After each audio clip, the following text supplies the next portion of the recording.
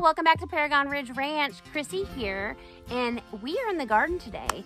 I am having some bug issues. I know we spoke about it briefly in another video, probably about a month ago. I did get the squash bugs under control. If you can see behind me here, this is some of my squash plants. And what it took was a lot of time and just really close detail. I was out here a couple times a day. I would catch the squash bugs and squish them, and I'd pick off all the eggs either with my hand or with pieces of tape. And I would constantly monitor the squash and the cucumbers. And I finally, finally, finally think that I am ahead of them. Did go ahead and do a second planting since it's the middle of July of the cucumbers and the squash. So hopefully that'll be a better harvest for me. But finally got that under control. And then yesterday when I was out watering, all of a sudden I see this.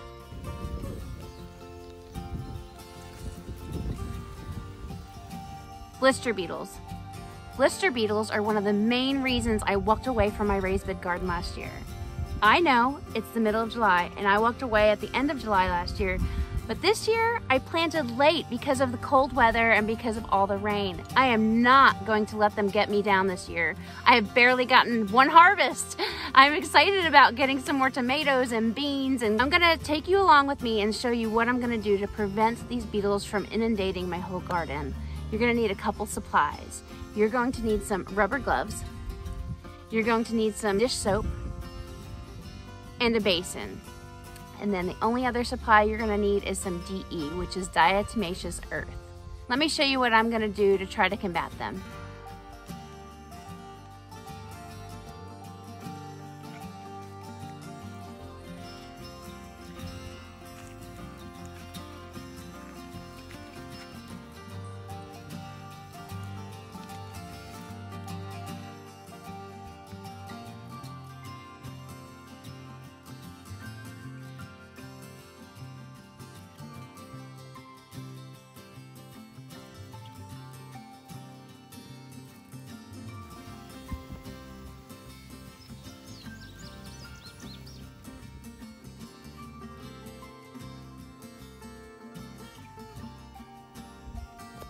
So as you see, I have blister beetles on my eggplant, on my tomatoes, and on my Swiss chard. Thank God my three lonely little pepper plants are safe for right now. Let's get this started. We just have a little basin with some water in it, that's all. And we're gonna take this, it's about a quarter full, and we're just gonna add some soap. Don't need too much. And we're just gonna stir it up make some soapy water. Um, Going to get a glove.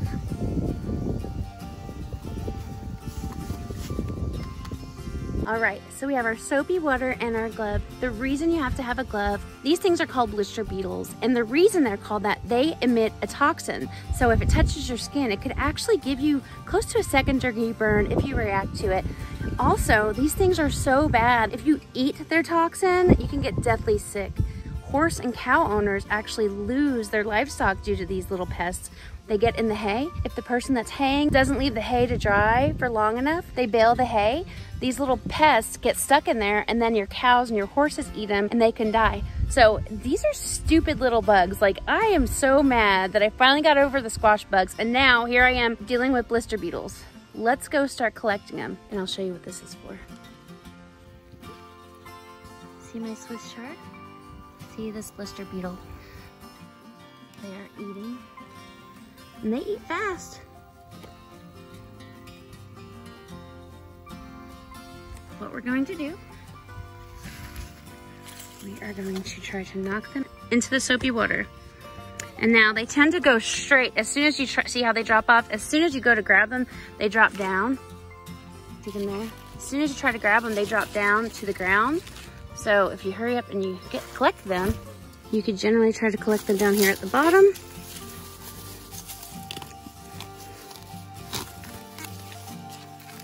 See him? So I'm gonna collect him. See him there? I'm gonna put him in there. You just drop them in. Sometimes you could just put this underneath like so. Give these a little shake and they will fall in. You can see that they have been in here for at least a day or so. They have left their droppings everywhere. Look, they're over here as well.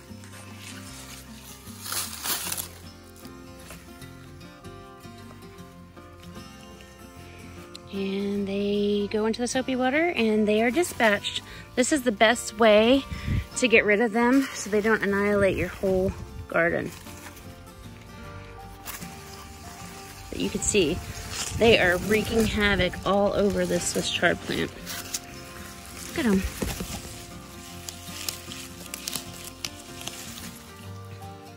Tell, oh, there's one right there.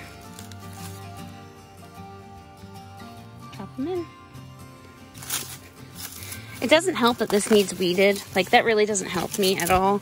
So their eggs are laid in the dirt in the spring and then whenever they grow, they start eating grasshopper eggs. The larva eats the grasshopper eggs and that's how they grow and get big. And then they inundate your garden. So read that what works on the ground is putting diatomaceous earth all over the ground around your plants to help kill any eggs or any little larva and also to help kill them before they go and crawl up on your plant. I have noticed that they also know how to fly. So here we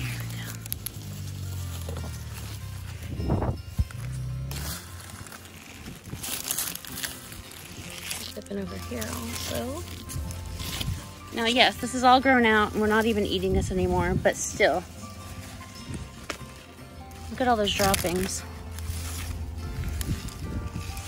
I still wanted to feed this to my animals, but doesn't look like that's gonna happen now.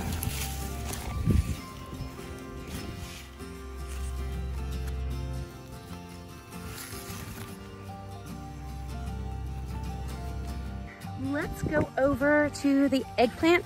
There's only a few on that eggplant. Make sure that they get in here and we get rid of them, and then we'll go to the tomatoes after that.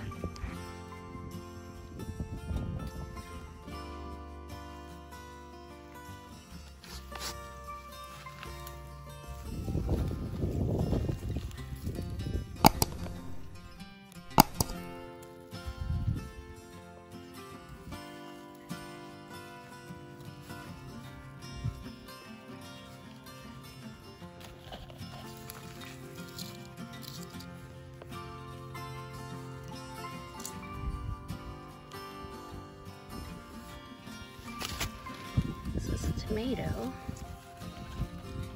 See, this eggplant has been getting eaten by grasshoppers, so that makes sense that they were over here trying to find the grasshopper eggs to eat.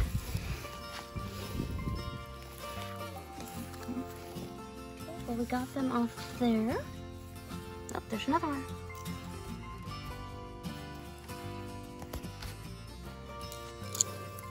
That's all I see here.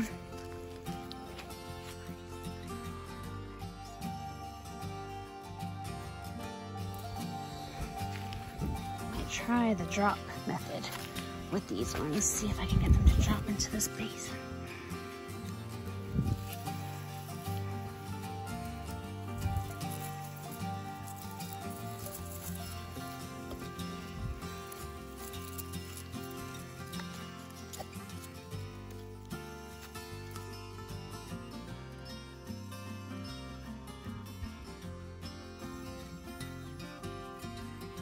All right, I went through all my tomato plants and I picked off all the blister beetles that I could. As you can see, all my squash and cucumbers are doing wonderful. I'm really looking forward to getting some of this beautiful produce. Look at these in the next few weeks. I wanna tell you thank you so much for watching today's video and coming on the journey that I'm doing right now, the 30 days and 30 video challenge. It is getting a little hectic. I'm trying to stay on top of my game. It is taking priority over other things right now, but that's part of my challenge to challenge myself to do better and to learn more about this analytics and all the YouTube know-how. So thank you so much for watching today. If you haven't, please hit the subscribe button and hit the little dingle bell next to it so you're alerted every single time I update new content. Thanks for watching. Have a good night. Bye-bye.